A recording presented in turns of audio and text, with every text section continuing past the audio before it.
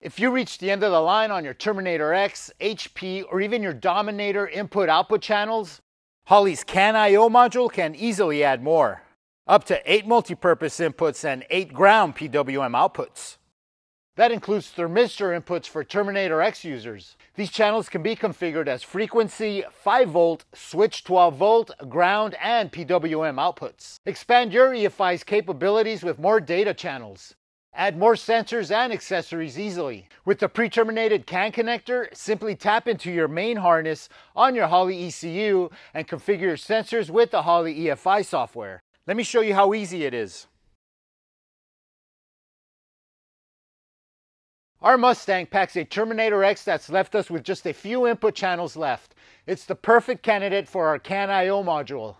Here's the additional sensors we'll be adding. A transmission converter drive pressure sensor, a pre-intercooler air temp sensor, trans temp sensor, a single channel EGT sensor, a shock travel sensor, and a drive shaft speed sensor. It's best to draw up a diagram so you can stay organized and make sure the installation goes smooth. You'll want to jot down all the sensors on a grid and then map them out wire for wire to the pinout. Here's the 34 pin connector pinout. Pre-terminated wires include a switched ignition, ground, CAN, and module ground wires. You won't have to mess with these, but it's a good idea to know where they go. These are the available connections. White pinouts are all signal input wires, while the black pinouts are signal output wires. The red pinouts are 5 volt sensor power. Blue pinouts are sensor grounds. Inputs and outputs are designated by a number in the Holley EFI software, so make sure to make a note of this. Looks like we'll be using only 5 signal inputs. Here's how we wired them.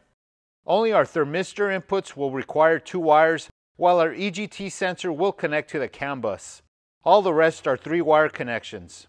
We're also designating the color of the wire to make sure it's going to the correct pinout. This will speed up the configuration process in the software and help with troubleshooting should the need arise. To keep our wiring bundled and protected, I'm using Holley's 3 conductor shielded cable. With a tough protective sheath and added RFI shielding, it's a solid choice.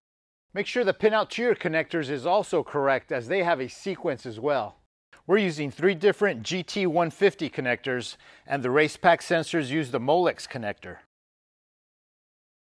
Let's install all the sensors first to determine the length of the wiring. Starting up top, we welded a bung to the discharge tube and then went ahead and installed an air temperature sensor. Our header already had a bung, so the EGT sensor was a quick bolt-on. Before you mount the CAN EGT module, take note of the ID on the back of it. We mounted ours behind the dash, making sure we could reach the I.O. module. For our converter drive pressure sensor, we used Earl's adapter fitting for a quick inline swap. On our Powerglide, the out is the lowest port on the transmission. We tapped a 3 8 MPT hole in our transpan for the temperature sensor. For our drive shaft speed sensor, we mounted a two magnet collar on our drive shaft and used a supplied bracket for the speed sensor. This RacePak sensor uses the USM Molex connector. For our shock ride sensor, we mounted it on the right rear tire parallel to the shock. It also uses the USM Molex connector. With our sensors all installed, we can now start on the wiring. Crimping and terminating wires is tedious work, so take your time. It's imperative to get some good solid crimps, and that starts with using the right tools. I'm using Holley's ECU ratcheting crimper tool. Once you've crimped on the pins, it's time to pin our connectors. Take your time here and refer back to your diagram. To unlock the main connector, use a small screwdriver and simply push up on the small white tab on the bottom of the connector. This will unlock the pins and allow you to insert or remove them. Once you have all the pins inserted, make sure to push them through till they stop. Once all the pins are fully seated, push the white tabs on top of the connector until they sit flush, locking the pins in place. All that's left is to connect our ground wire from the main harness, preferably to the battery. We used an existing ground junction that has a direct connection to the battery. Let's go ahead and connect our harnesses. We can also connect the CAN bus connection to the main harness. The CAN IO module should be connected into the main harness CAN connector directly. Let's fire up our laptop and jump into our Terminator X software. Our CAN IO module requires Terminator X version 2 software, build 51 or higher, which means your Holley ECU might need a firmware update as well. Download it at holley.com. Watch this video here to learn how to upgrade your firmware. Once you've updated your firmware, make sure your I.O. CAN module is plugged into the main harness and your CAN to USB dongle is plugged into your laptop. Go ahead and launch your version 2 Terminator X software. Let's go ahead and download our tune from our ECU and open it up on our Terminator X software. To configure inputs and outputs, the inputs outputs ICF must be present. Since we're already using inputs and outputs, it automatically appears from our configuration file. If you don't have this icon, add it by selecting it from the toolbox. From the drop-down menu, select Add Individual Config. Then select IO Directory and double-click on the default IO file. You should then have an IO icon. To configure our inputs, click on the I.O. button and select Inputs tab. The Input Setup screen appears. You can see our Transbrake input that we previously set up. From here, we can pull up our working diagram that has all the details we need to configure our sensors. Let's go ahead and fill in all the new inputs with a recognizable name. There's only room for 18 characters, so be creative. Go ahead and click Enable for all our new sensors. Let's start with our converter pressure. To configure the input, select Type. All selections for the CAN IO module have CAN in front of the type, such as CAN 12 volt, CAN ground, CAN 5 volt, CAN 20 volt, CAN digital speed frequency, and CAN thermistor. Since our pressure transducer is a 5 volt input, select CAN 5 volt. You'll get a notification that an input type has been changed, allowing you to configure it. Our configure button should highlight. Let's go ahead and click on it. On the sensor setting screen, we can set our configuration. The great thing about using Holley RacePak sensors is that most are already pre-configured in the software. We can then select our sensor from the drop-down menu and be done with it. If you're using a sensor that is not on the drop-down list, you can select Custom 5 volt. This will allow you to enter custom parameters. Keep in mind you should know the scaling to enter for your sensor. Voltage values can be entered at the bottom and the corresponding sensor values entered at the top of the layout to form a linear graph. For our pressure transducer, we use part number 554-136. Go ahead and select it.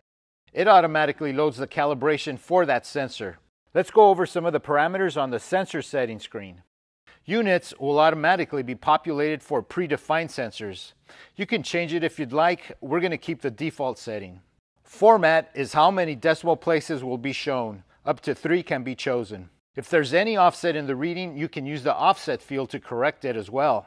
We'll keep it on the default setting. Sensor minimums and maximums. These values are only required if you're using the switched caution, timing, or PC warning outputs. The values are used to set the low or high side cautions. The last thing we need to configure is our CAN setting button. For CAN device, we need to make sure that the CAN IO module is selected from the pull down. For CAN channel, we must select the input being used. Remember that the inputs are designated 1 through 8 depending on what pinout you used.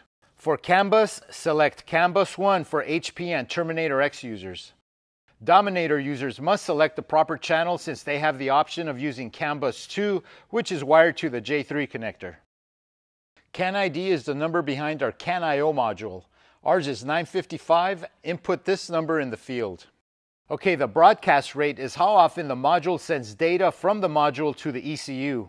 This range is in Hertz. You want to set a reasonable number for this value. Setting all the values to 100 is not desirable unless those speeds are necessary. For something like fluid temperature that usually doesn't change more than once per second, a value of 1 through 5 Hz is adequate. For something like fuel pressure where you might be looking for a quick drop, setting it to 50 through 100 would be ideal. For outputs, the same thought applies. Set the output rate only to what is necessary. For something like turning on a cooling fan, 1 hertz would be fine. If you're triggering something at the launch of the car, set it to 100 hertz. Let's finish configuring the rest of the sensors. We'll use most of the defaults. Go ahead and select back to go back to our input tab. Let's finish configuring our sensors. Next up is our pre-intercooler air temp sensor. Let's select the type. This will be a CAN thermistor. Now we can click on the configure button. We'll go ahead and select our Holley manifold air temperature sensor from the drop-down menu. We'll keep all the default settings and make our way into the CAN setting button. We need to select the CAN channel, which is input number 2. CAN bus is OK. Let's punch in the CAN ID 955. And we're done here. Let's go back to the Inputs tab. Let's move on to our trans temp. This will be the CAN thermistor input type. Click on Configure. From the drop-down menu, let's select Holley CTS for coolant temperature sensor. We'll stick with the defaults. Let's set up the CAN settings. CAN channel is input number 3, and like before, the CAN ID is 955. Let's go back to the Inputs tab and set up our EGT sensor. For type, since the EGT sensor has its own module and is not part of the I.O. module, we can choose the Fix CAN option from the drop-down menu and define the module on the CAN setting screen. Select Configure. For type, we'll select Holley EGT. We're going to leave the default settings. Let's go ahead and configure our CAN settings. For CAN device, we're going to select EGT1 channel. For the CAN channel, we'll select channel A, which is the only option we have. And for the CAN ID, we'll use the number behind our module for our EGT sensor, which is number 78. Now let's go back to our Inputs tab and set up our shock travel sensor. Our shock travel sensor is a 5 volt sensor, so we'll set it up as CAN 5 volt. Hit the Configure button. From the drop down menu, we can select the Racepak shock travel sensor. Ours is the 8 inch variety. We're going to keep the default settings and head on over to the CAN settings. The CAN channel is input number 4, and the CAN ID is 955.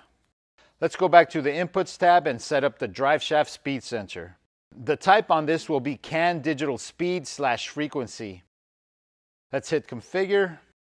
Let's go over some of the settings. For type, you can set miles per hour or RPM. There are some other choices for specialized use, but these are the most commonly used.